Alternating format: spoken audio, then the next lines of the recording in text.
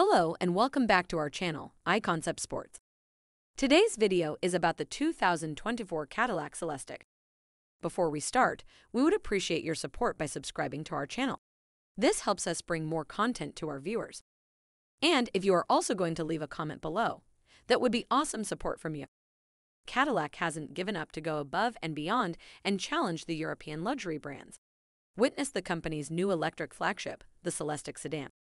This stunner shares a family resemblance to the new Lyriq EV SUV, but its sleek lines, sweeping roof, and bustle rear end give it dynamic proportions and jaw-dropping presence. Cadillac's designers say that they have incorporated design elements from the past alongside high-tech systems that predict the future direction of the American luxury brand. The cabin is just as dramatic as the exterior styling, and it dazzles with brightly colored leather, a 55-inch digital dashboard, and Eames-inspired bucket seats. The Celestiq's assembly line will be manned by a small team of craftspeople who will hand build each one. Customers will design their own Celestiq when they order, similar to the Rolls Royce method of bespoke production. Let me slow down a bit, because I am too excited about this car and I'm getting tired if I speak too fast. The Celestiq is heading for production as an all new model for Cadillac's 2024 lineup, but don't expect to see this showstopper sitting on your local dealer's showroom floor. Celestiqs will be special ordered, tailored to each customer's specifications, and likely will be delivered as discreetly as they are purchased. How unfortunate that we won't be able to review one in person, unless we know someone who has enough financial freedom to buy one. The Celestiq will be a unique model in the Cadillac lineup for several reasons, not least of which is the fact that each one will be built to order, by hand. Celestiq production will necessarily be limited as a result. Cadillac says there's essentially no limit to customization opportunities, so we expect some buyers to create Celestiqs that turn heads today and and years from now when the cars turn up at future Pebble Beach Concours d'Elegance.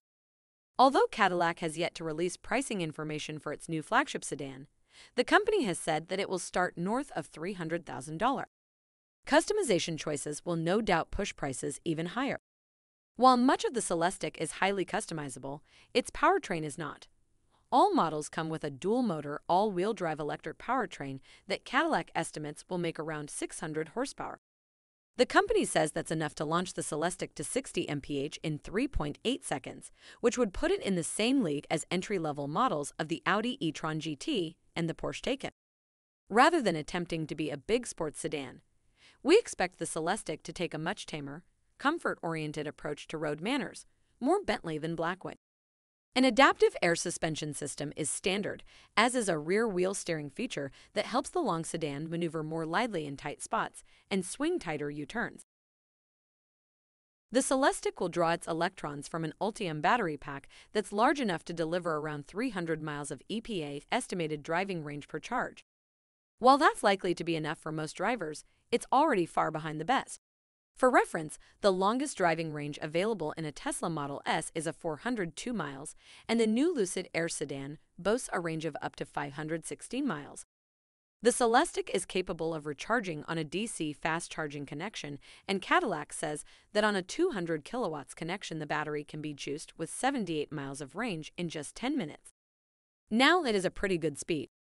There's no information yet about the Celestiq's fuel economy ratings, and we likely won't know for some time just how efficient this electric luxury sedan will be.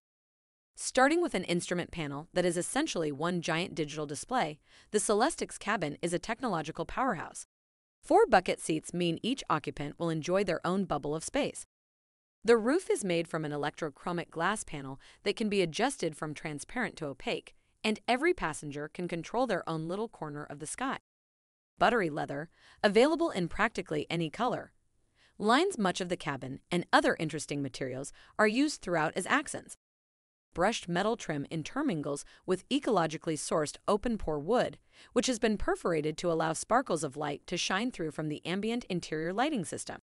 The cargo area is also lined with leather, is generously sized, and features attractive metal inlays on the floor.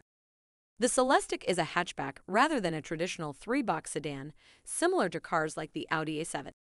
Most luxury cars boast large infotainment displays measuring 10.3 or 12.3 inches, but the Celestiq's is all of 55.0 inches, spanning the entire width of the car's dashboard, much like Mercedes' new Hyperscreen. Rear seat occupants can also enjoy their own 12.6 inch displays for watching movies, checking the internet, or controlling the car's stereo system.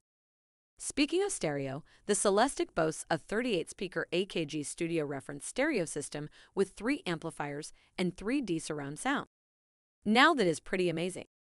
And I'm sure the safety and driver assistance features are going to be there, and we are not going to mention them in this video because we don't know what they will be, but most likely the Ultra Cruise and Super Cruise hands free driving technology will be part of this car. Now, this will conclude our review from today. Thank you for listening to this information, and we would love to see you come back to our channel.